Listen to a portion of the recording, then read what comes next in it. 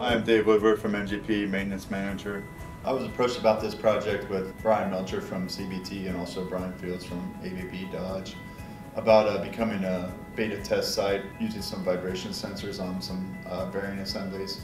Uh, I've been having a couple field failures. I've been trying to uh, integrate some more predictive maintenance programs. I went to Woody and proposed this to him. We decided on what bearings we were going to do for this application and we actually picked one of the most critical places in the plant to provide these bearing sensors because it's a flow through process and if this one place uh, which is actually a gas dryer goes down um, they lose batch and that creates a lot of product issues. One of the reasons Woody decided to do this was that he currently is doing vibration monitoring through an outside source and they do monitoring of these bearings once a month.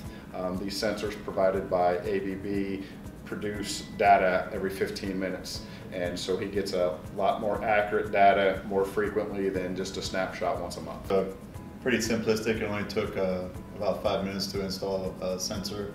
Any uh, predetermined bearing housing had already been pre-drilled, so probably five minutes till to get the Bluetooth actually actuating and, and uh, start uh, receiving data. The piece of equipment I installed it on, I have opportunities if I can get the um, the production in a, in a certain way, I, I can take down that piece of equipment for about four to five hours without losing any productivity or, or quality problems. So this in turn can help me to get through those windows to make those repairs. One of the reasons he picked this equipment too is if these bearings catastrophically fail, he could be down for days instead of a predictive maintenance where he's down for four hours. The bearing sensors do provide vibration along with temperature and you can set uh, range limits so that you can get alerts via your cell phone or your computer within these limits that you've set so there, it's an alarm state that you set that window on. So another advantage of um, having the sensors in real time also is um, we can make engineering changes uh, on the fly. On this piece of equipment, we can either speed it up, slow it down, we can change the load ratings uh, that we actually bring material in and out of the,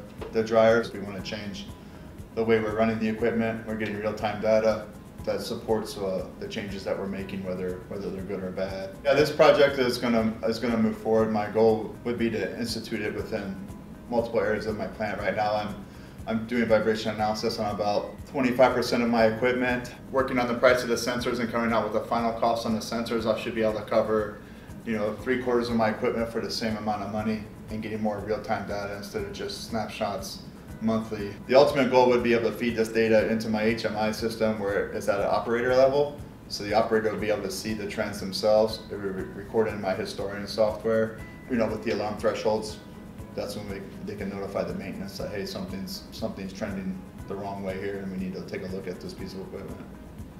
I choose to work with uh, CBT for primarily all my power transmission needs uh, and uh, they also support us with Allen Bradley electrical um, supplies too, but uh, I've, I've been working with them for uh, 10 to 12 years, a great working relationship with multiple people inside the facility. I have a, a great internal workforce, great account managers and great outside work, workforce. So have some stuff break down in the middle of the nights or in the weekends. I've always been able to get a hold of somebody and get support to keep keep my plant running.